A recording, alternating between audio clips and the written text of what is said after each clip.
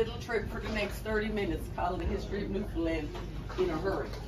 All right, so we're going to start with introductions. I is Aunt Luce, and I is your screecher tonight. I would like to find out who you are and where you are from, and we will start right here.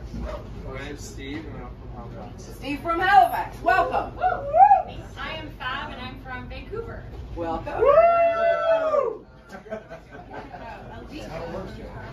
I'm Lauren. Uh, my grandfather, my grandparents are from Newfoundland. We're from Toronto, and so the girls brought me here for my bachelorette because my grandparents are from Newfoundland. And plus, it's the best place to have a bachelorette. Oh, yeah. All right, right in the back. Joanne from Toronto. Welcome, right next to Joanne. Lawrence from Toronto. Sarah from Toronto. Alina from Toronto. Corey from Toronto. Cash. My laser pointers have batteries, but I knew we missed. Justina from Vancouver. Right behind Justina. I did already. Okay? Uh, Sean Montreal. What? I'm Quentin. What? Board. Yes. There was, there was questioning to Sean's heritage there. Sean, That's what he says. He lives in Apparently Sean don't know, so Sean, Sean's into witness protection. So no one take any pictures, all right? In front of Sean. Mike from Ottawa. Mike from Ottawa. I'm Quentin from Richmond Hill, Ontario. Welcome, Quentin. Tony from Ottawa. Tony from Ottawa. Chris from Ottawa. Behind Chris. Jamie from Ottawa. Behind Jamie. Rupert from Ottawa. And the man in the blue coat. Glenn from Ottawa. Pick another city. Johnny from Ottawa. Wiki from Ottawa. Kenny from Ottawa. Mike from Hamilton. Andrew from Toronto. Greg from Ottawa. Is that Ollie? Is Yeah. that everybody? All right, okay.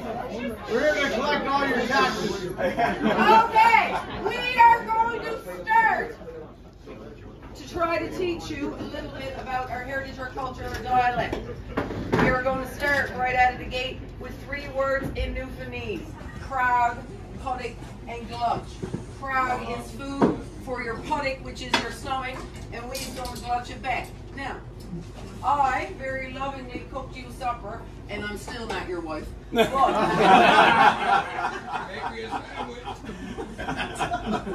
you are looking at all this. This is going to be our hors d'oeuvres for this evening. Now, don't worry if you're vegetarian because there's no real meat in this.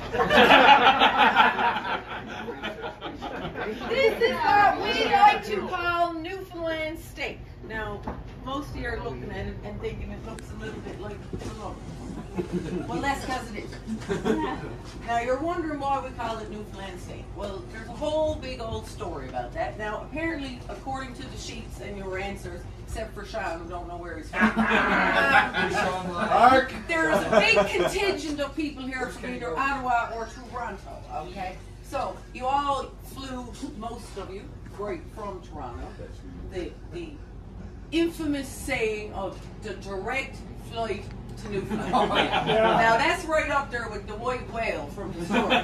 Okay, the direct flight to Newfoundland. So normally how that flight goes is you're in Toronto, you're waiting, you know you're at the right gate going to Newfoundland because you already started to not understand a few people. so you're waiting, you're waiting, you're waiting, you get on the plane, we're going to going to Newfoundland. All very exciting, all very exciting. You get up there, doodle doodle doodle doodle doodle, pilot goes beep.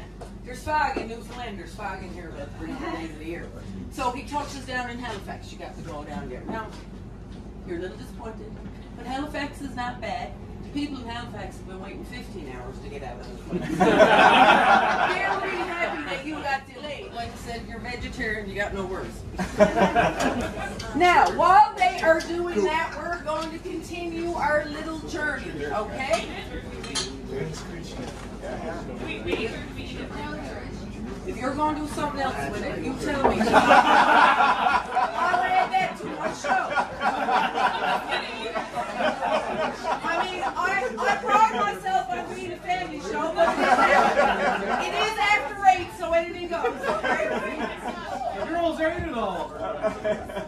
All right, while we are off, you wishes I was your wife now.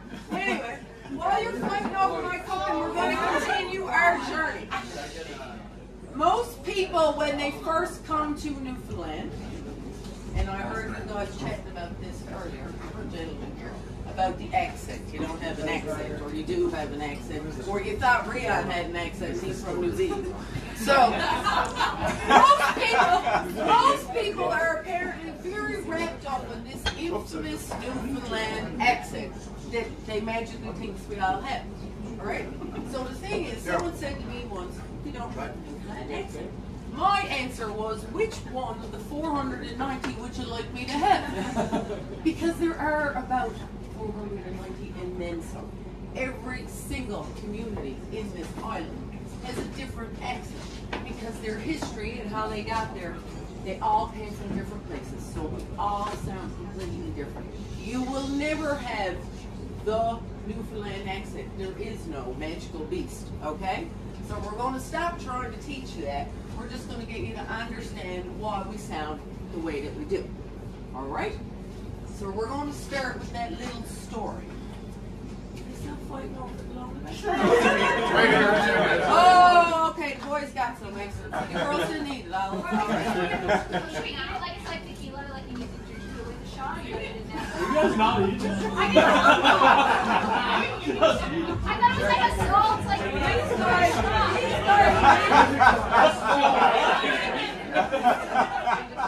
The girls are very hung up on instructions. Are you not engineers or something? All right. Now, uh, you you eat it. You eat away. All right. We are going to continue with our history lesson now that we've figured out the globe. All right? So, there was a wonderful man by the name of Giovanni Caboto. He was Italian. Now, most people know him as John Cabot. That's just because the English paid for his movie rights, okay? So, Giovanni landed in a beautiful place in Newfoundland called Bonavista, Buena Vista. His beautiful view. When he landed in 1497, he discovered this island and its beauty. He put out buckets on either side of the ship. He was hoping to pull up water. What he pulled up was codfish. He could not believe his eyes of how plentiful the codfish were in our waters. Soon word got out all around the world that we are here. The codfish was the center of all culture in Newfoundland. 85% of all of our traditional occupations come from the cod fishery a huge amount of all our traditional recipes are based on the codfish or use the codfish. Most of the things that came to the island only came here because the codfish was our currency. We traded the fish with the Jamaicans, with people up along to get all these wonderful things we wouldn't normally have. We loved the codfish so much. Every time it left our wharf, we would get down on our knocks, our knees. We'd kiss the fish goodbye, knowing it was going to come back to us in the way of the rum you're going to meet in a minute and the bologna which you devoured. So, in keeping with the time-honored tradition, we are all going to kiss Little Loose here. Now, there are only one set of instructions for this. If you have people taking pictures of you, you want to make sure you wait till you see a flash or hear a plates. Because if not, you're going to hear me say the worst words ever, and let's do it again. Very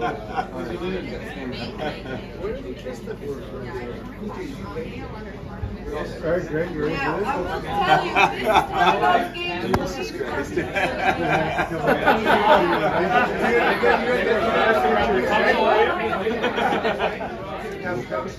Guys, yeah. make sure I can get a good picture. Daryl's taking the pictures. Daryl? Yeah. Daryl, Daryl promised. Oh, you gotta send them. You gotta send them? But you know what? Okay, so look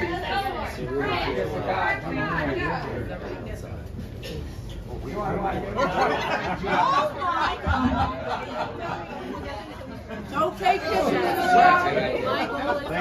We don't know where he's from. Montreal, Montreal, Montreal, kiss the cod, Montreal. Tony, did it get you, Tony? They're just like all my girlfriends. I'm kissing everybody in this room now. got a picture of me here.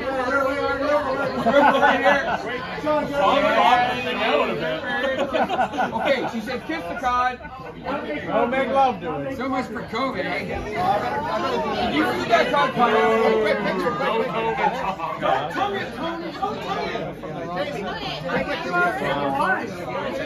I'll keep it going long. Yeah, good. Shooter, shooter, you ready? His last name's Hud. His first name's Mike. Gotta be like yeah! Kiss all cod.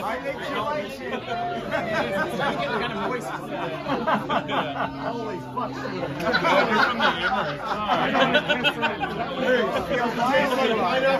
Yes! Oh, oh, oh, oh, oh, there's a ball. I'm a team. That's what my husband said. Yeah, I saw the good one. All right, here we go. Like all my other girlfriends. Who's that? Wet fish. Good. What? Yeah. I have to take a piss. You look like you're not part of All right. So you guys forget anybody. Hey, Katie, Katie, come here. You have to present yourself to the, uh, the mayor's wife. Now switch. Hold on. You can go away. I'm Kenny. Meet you. Did I miss anybody? Johnny, you got one. I think that's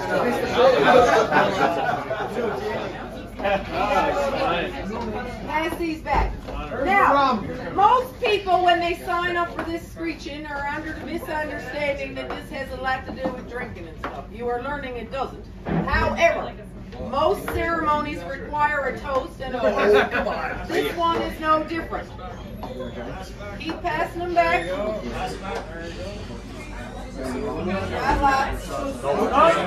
Yeah, yeah. The guy had Thank you.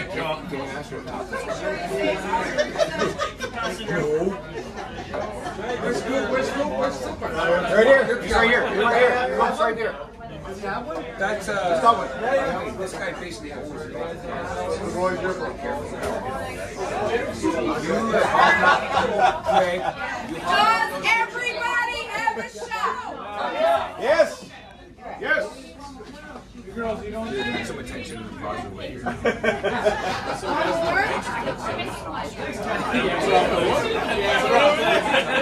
positive way. All right. Does everybody have one now? Okay. Yes. Yes. What you have in your hand is called Newfoundland Screech. Screech is the rum that we used to trade our fish with the Jamaicans to get. It is a very long-standing culture in Newfoundland. We like rum. Last time I checked, our winters went about 10 and a half months. So the rum helps us keep warm. The rum helps us keep our food preserved. And I do believe it's also partially responsible for most of our major population growth. So, which is why that piece of paper that you signed there tonight is also a liability release for me. Because what you do later on tonight ain't my fault, unless it's really good, and then it is. So, Screech got its name from an American gentleman. One time down in a pub in Placentia, there was a lovely American man, and he decided he wanted to test our whole theory of Screech being strong. It used to be a lot stronger than it is today. So it was the test of a man or a woman if you could glutch it back without yelling or screaming. He decided he wanted to prove that wrong or right. When he glutched it back, he let out this god awful yell. The yell was so loud that the locals heard it outside the pub. And they looked at each other and said, What was that god awful screech? That was the rum, my son. And so that's actually how it got its name. It's not quite as bad now, so don't look so scared. You look That's Tony. absolutely. That's, yeah, that's Tony. He always looks scared. Tony, Tony. Don't get me wrong, that's my favorite look on a man's face.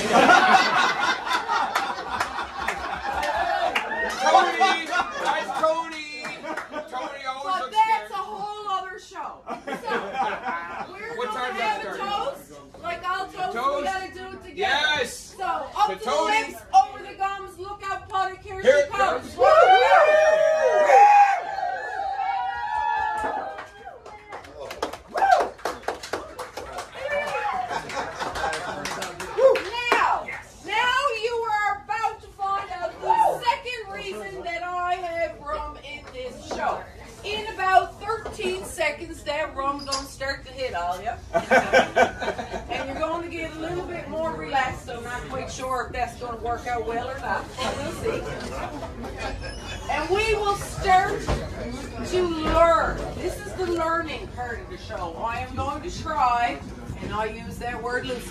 To teach you a little bit about that infamous dialect of unicorn that you're all chasing. All right?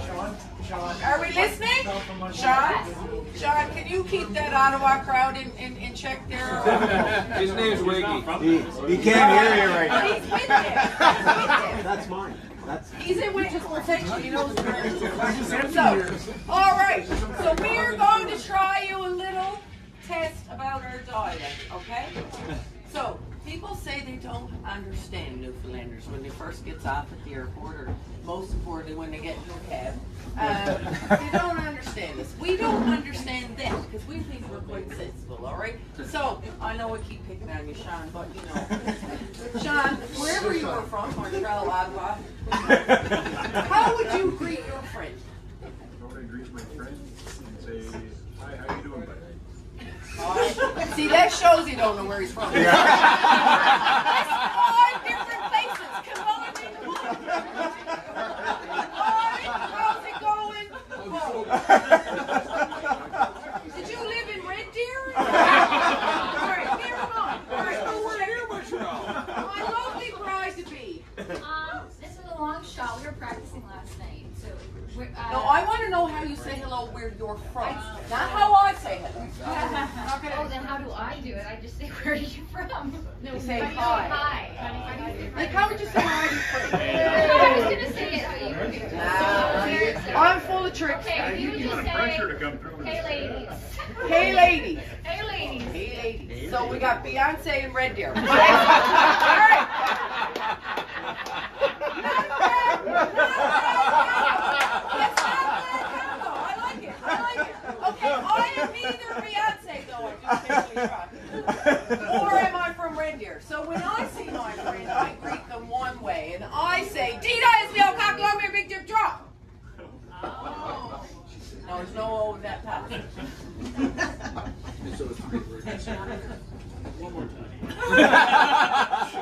That's what he said. That's what he said. Get him on the show. All right. You obviously didn't understand that. That's okay. I don't expect you to understand it because the whole point of this story is struggle with. So I'm going to actually break it into three parts and explain to you the meaning behind that, and then you will never forget it again. All right? The first part, deed I is. You can read Shakespeare or know anything about Old English.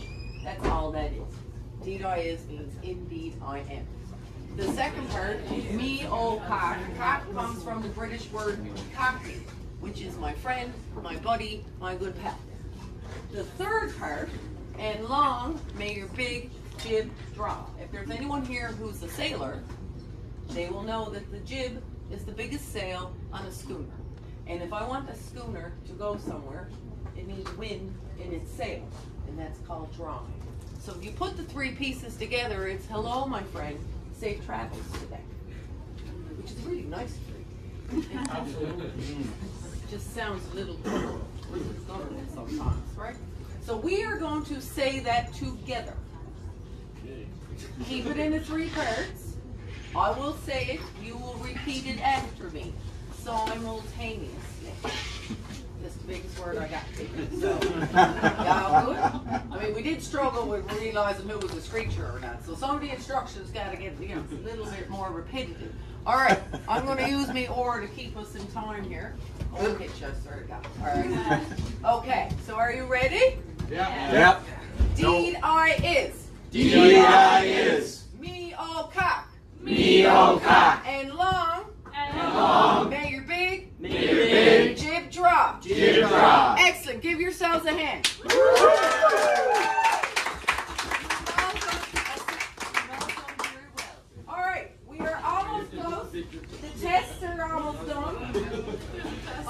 certificates for you all, but I do have a couple of other little things I would like to tell you about this beautiful province of mine before we finish the show. So we will start with my beautiful hometown of St. John's. You are in the oldest city in North America. Water Street, just down here, is the oldest street in North America. The Royal Newfoundland Regatta, which happens on the first Wednesday of August every year, except for when we close for COVID, is the longest continuous running sporting event in North America. Newfoundlanders are some of the funniest people in the entire country. According to Maclean's magazine, we are the most generous people in the country. Yeah. According to Maclean's, we are some of the sexiest people. Damn right. Yeah. And according to Mr. McLean, we are the most sexually active people. That has something to do with the rum.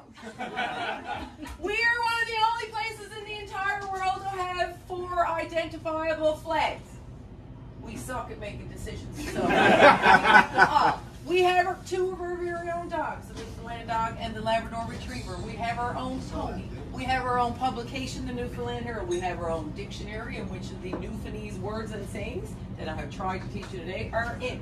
We have our very own encyclopedia, which was the last project of the late great Joseph R. Smallwood, the last founding father of Confederation, because the last province to join Canada was the best gift that you got.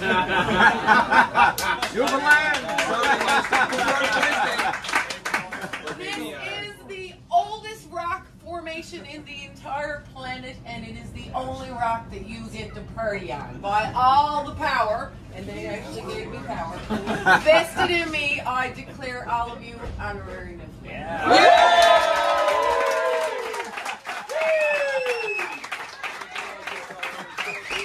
Mr. Wiggy. where's Wiggy. Mr. Uh, actually, his name is Chris Wigmore. Johnny, I know, but I'm calling him Stunning. Because he You is. know. Johnny, Johnny. Ken, don't let it all. Ken, Thank you. Candy Gama. Here you Greg. go. Here you go. Right here. Gomes, I mean, Gomes. I have a mic and I could not pick out his last name. Luce. No, I think there's another one. I got a Boucher already. All right, Sean, my love, here we go. Rupert, Graduation. Rupert Bone Carter. Brandon, James Johnson, I don't know why was I don't know. Tony? I meant the mayor. Chris, James, who's that? She didn't call your last name Cooper, okay? She said Cowper. So don't be tough. I'm trying to run a lineup. You got Cooper with a fucking W. You got Darren Boychuk with no fucking two R's. You got Glenn Full with two N's. You're fucking weird. He's making fun of James Johnson. His, his name's Glenn Cooper. Greg Cooper. C O W P E R. And he goes, you know what? Because I'm from a certain part of Britain. I really upon me. I think I think he's probably getting into the whole Harvey thing. He smashed the gavel. Shut up! Shut up! I talk right there.